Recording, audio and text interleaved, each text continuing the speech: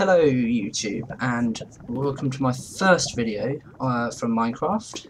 Uh, in this video I'm going to be showing you and explaining how the calculator I built works.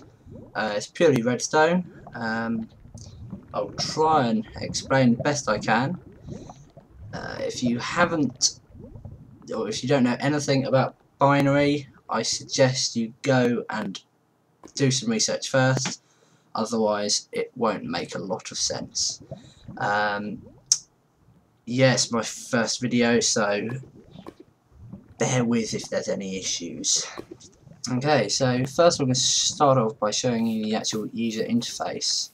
Uh, so you currently got the display there. Uh, obviously, uh, it's uh, what is it? Segment display. Uh, and then we've got two inputs, so we can do single digit inputs uh, and we've got addition and subtraction. Uh, can't do negative numbers at the minute, but it may get there at some point. So I'll start off, to add 4. So we'll just wait for that to come through. It's a bit slow because there's a lot of redstone behind it, which you'll see in a bit. So you can see we've got the 4 come through there. There you go. And we'll add 9. Now, hopefully, this should come to 13. If it's...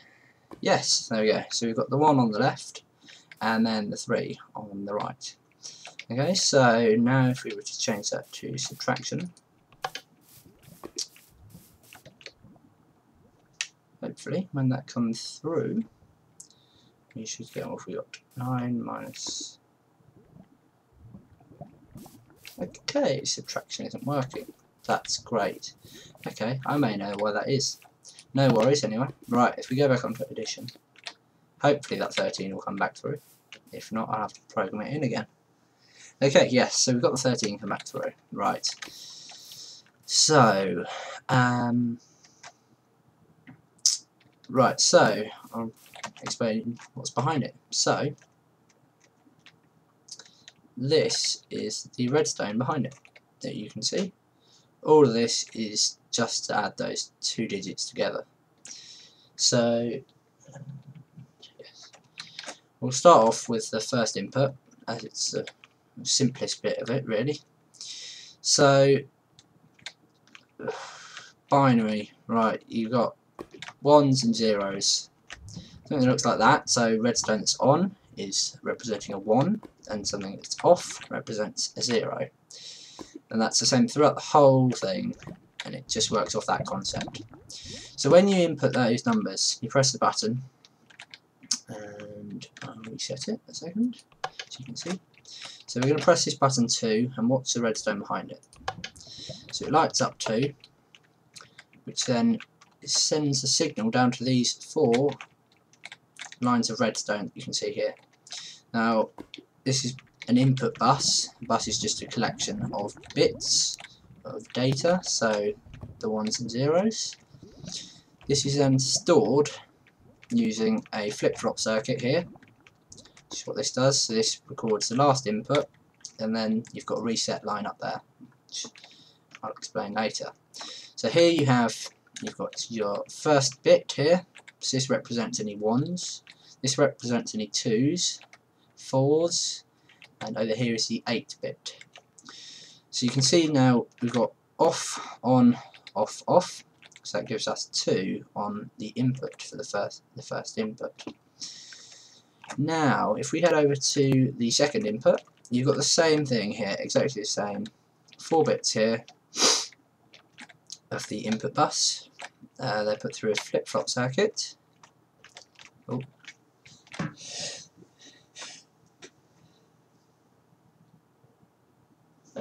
Thought I was going to sneeze. Anyway, so this is another of the flip-flop circuits, which represents our first bit here.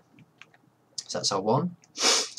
Then those two inputs are then combined with, or combined with the other inputs in a series of logic gates. Now if you don't know logic gates, I will briefly explain.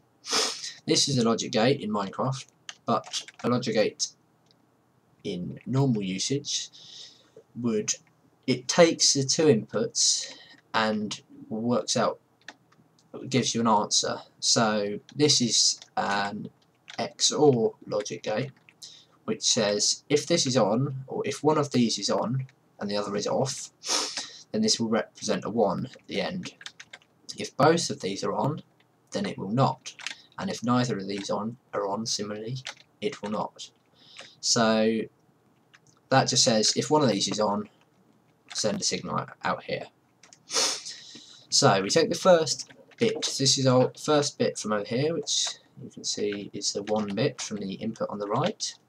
And it takes the input from the left which is over here this is part of the subtraction part um, which I will explain later.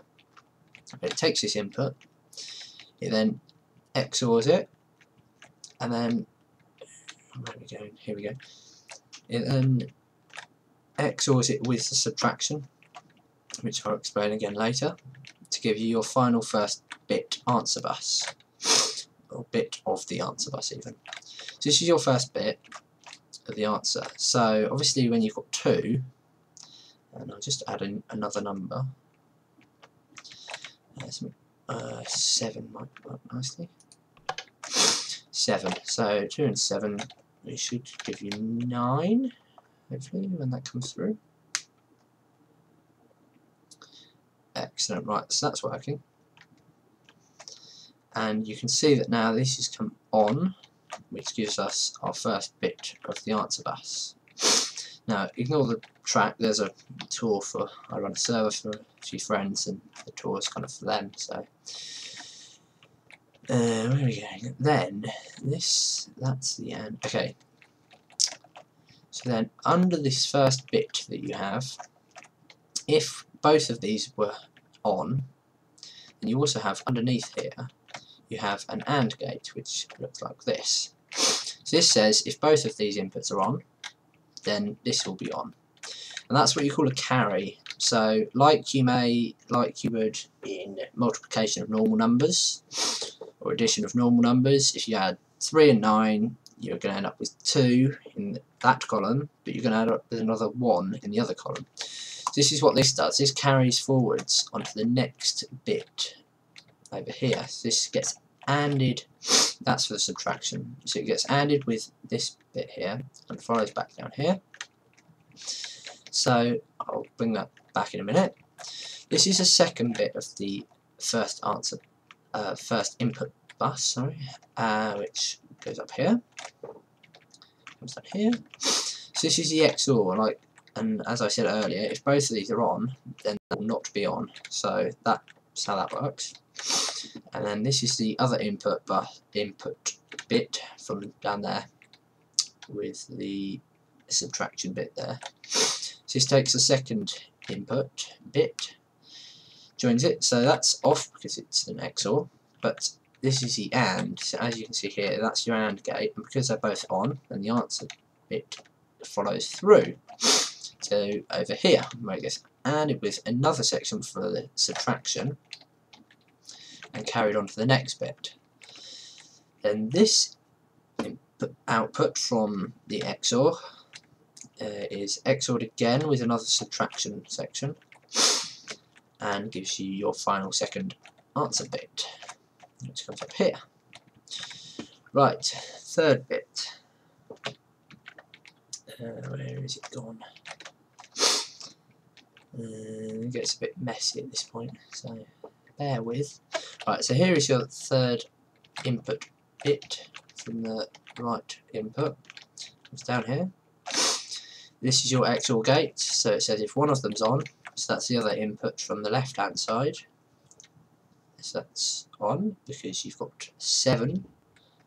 So that's your fourth bit of 7. This is an XORed, so you get that answer bit which is then XORed again with this which is the subtraction section uh, which gives you nothing on this output however it's also ANDed underneath uh, somewhere around here there you go ANDed there and follow through onto the next answer bit here. So, if where we go? down here? Um, that's that bit, that's that bit. So if we follow this now,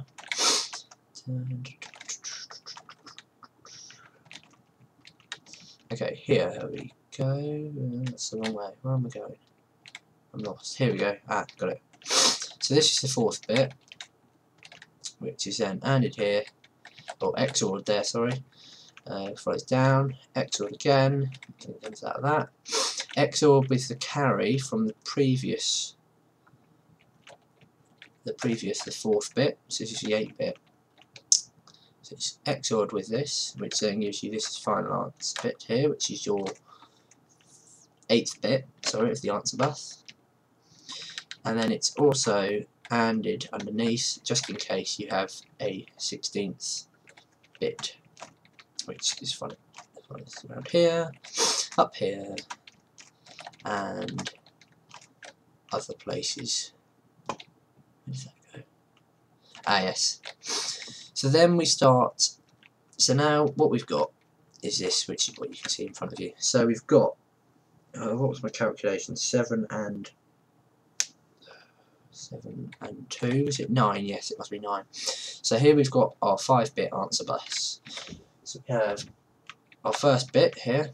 We've got our second, third, fourth, and fifth. So obviously you've got one, two, four, eight, sixteen. So if you add those two together, you've got 1 and 8, gives you 9. So we know we've got the correct answer coming out.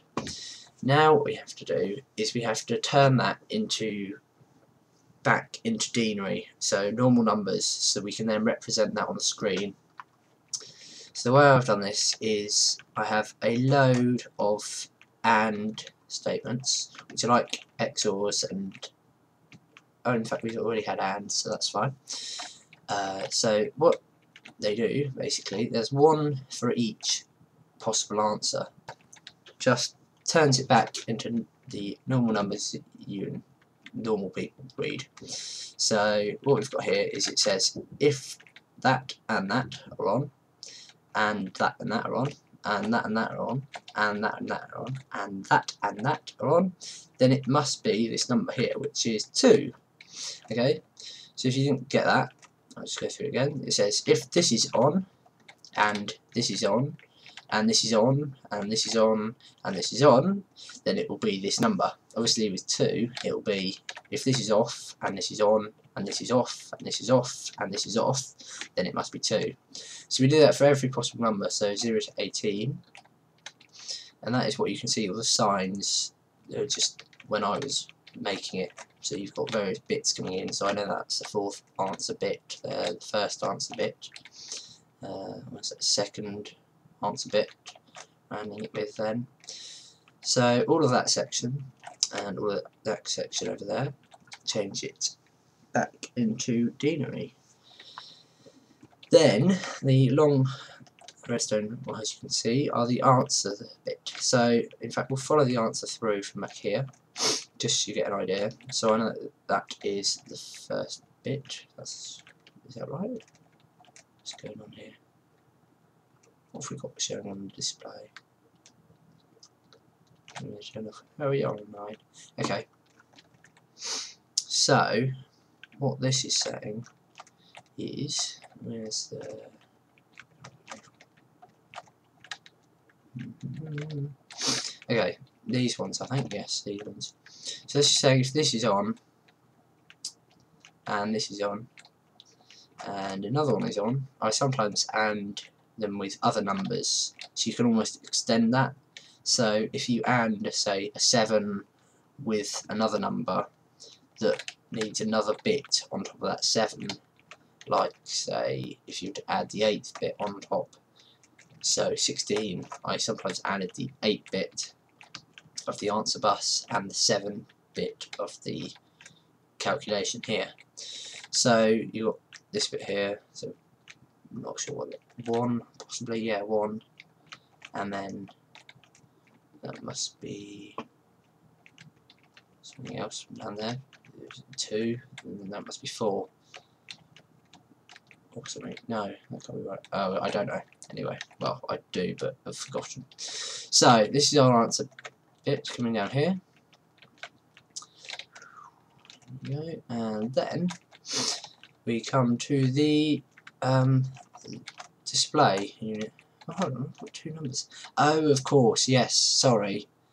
Um, no, what's that doing? What's that displaying? Why is it displaying a wall as well? Okay, I'll have to look into that. Not sure why that's doing that. It shouldn't be. We'll check that later. Hmm, maybe, yeah, so this is the actual answer, that's the 9 that's coming through, sorry. Not sure what's going on there. Then, so I've got two uh, bits for each half of the screen. So each signpost is a number. So 0, 1, 2, 3, 4, 5, 6, 7, 8, 9. There we go, 9. So then those link to various things which so I've got top, so that's the top row. So if I know if I power this, then I get redstone torches on the top row. And then top right, and right bottom, um, there's left, there should be a middle row somewhere, somewhere around here. Is that it? Yeah, I think that's middle. So then those are linked to each number. So if I want to represent a 9, I can just power that column, or that uh, redstone here, and that will power a 9 on the screen. So you have to do that each with each unit. So there's another one with 3, 4, 5, 6. Obviously these aren't linked up yet because I'm not going to have a number greater than 18, so I only need the first bit. Yeah, right up. Then that follows through and goes onto the back of the screen. And that is what gives you that number. Then the subtraction part, I'll do a basic explanation. So that, uh, if I can get to it even. Okay, so it comes down here, around the back. Down here. Ah, here we go. That was it. So if it's subtraction, what it does is it comes up here, and it XORs it with the initial input uh, which gives you so this is actually the 8th bit because it goes a bit funny on the end but on the other ones can find it here we go so this is the input from the 8th uh, 8th bit yes sorry 8th bit the input. That was the 16th bit back there. So it XORs it with it with the other input and then for, puts it through the system. So obviously if it's not subtraction then it's addition so that works normally and that's fine. But if it is and it's on what it does is it inverts it which effectively twos complements it for any computer people out there and then puts it into the XOR gate initially with the other input from the other one which is not XORed so only one input is XORed. However, because it's this minus this, this is the thing that gets XORed. So this gets turned negative, and then obviously if you add a negative, you subtract it effectively. So that's what that does. I believe the issue that I had earlier was in the last couple of days I've added these um, flip-flop circuits and obviously the subtraction bit wasn't working because that's stored there rather than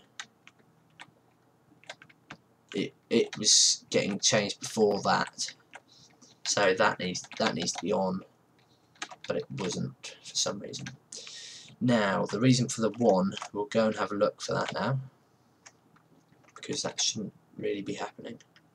I'm not sure why it was. So this is saying and, so if those two are both on, what is this? That's an AND gate. which isn't what's powering it. That's not powering it. This must be powering it. Is that a that way thingamabob? No, that's not a that way thingamabob. What's going on there? What's powering that? Can't be that. That faces that way.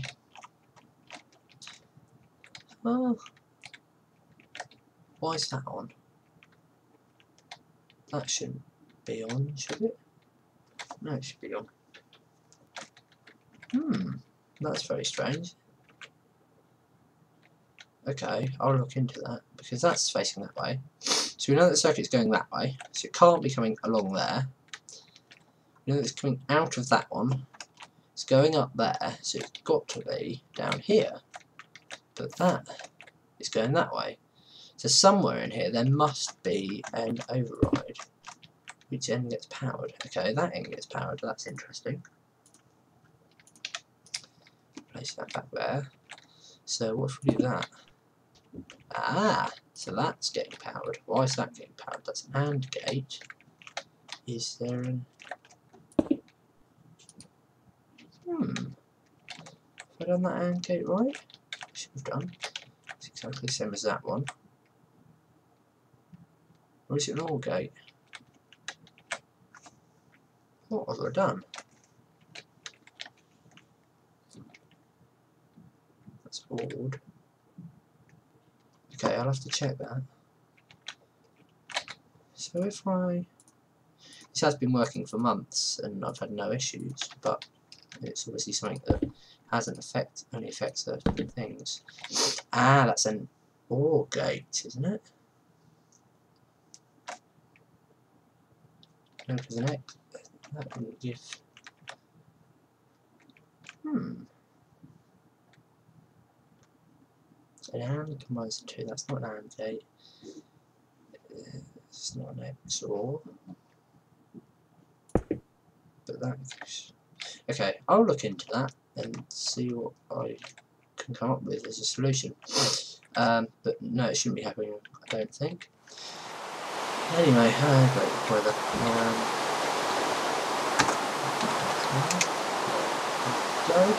Lovely. So anyway, I hope you understood some of that. Um, obviously, if you've got any suggestions of what I could do better next time, uh, I will try and do more videos. Um, hopefully I should have some more time in the future to do more Minecraft things. Uh, I hope you enjoyed and possibly learnt something. something. Uh, it's always good if you can help another Minecrafter. And yeah, please, there, hopefully there will be more, so please subscribe, uh, like and comment, do what you want. Um, and yeah, this is wosp95 out.